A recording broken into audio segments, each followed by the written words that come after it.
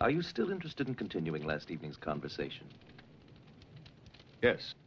I, I'd like that very much. On what subject did we end?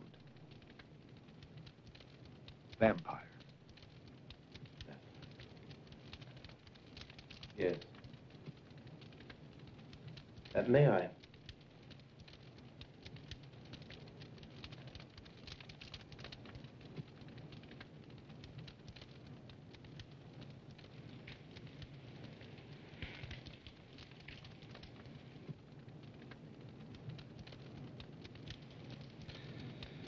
Now, where shall we begin?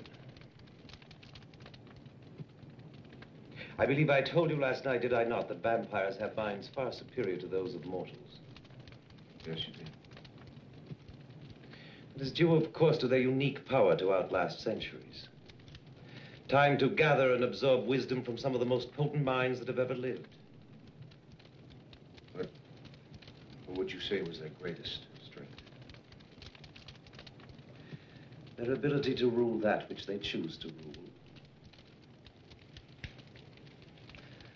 Their ability to make a fool out of any man.